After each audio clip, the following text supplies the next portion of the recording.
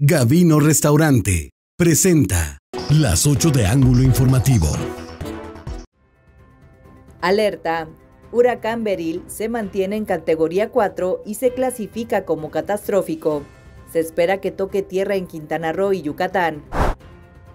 Ya está el ejército en Quintana Roo, desde luego Marina, eh, decirle a la gente que estamos pendientes Gobierno de México se prepara. El presidente López Obrador activa el plan de contingencia en Quintana Roo. Ejército y Marina están listos en Chetumal. Relanzamiento del programa Vive. Nuevas estrategias de prevención del suicidio son anunciadas por Jorge Mojica del Consejo Estatal Ciudadano. Sin multas en la FENADU, el alcalde Toño Ochoa anuncia que no habrá sanciones por conducir en estado de ebriedad en retenes anti-alcohol durante las fiestas de la ciudad.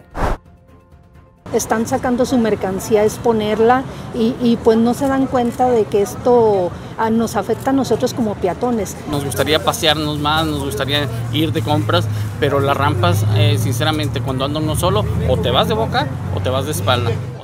Sigue la polémica por obras en centro histórico. Denuncian falta de infraestructura adecuada para usuarios de sillas de ruedas y débiles visuales.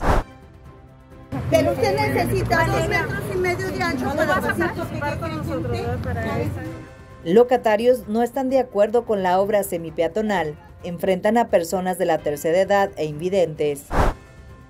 Ya sabemos el desfalco tan grande que se hizo, él es gobernador, ya no supimos qué pasó con él. Pero bueno, hay... La diputada Sandra Amaya demanda respuestas sobre los 25 mil millones de pesos desviados de la pasada administración. IMSS Bienestar. Zoe Robledo inicia la entrega de credenciales en 23 entidades. Grupo Corleone presentó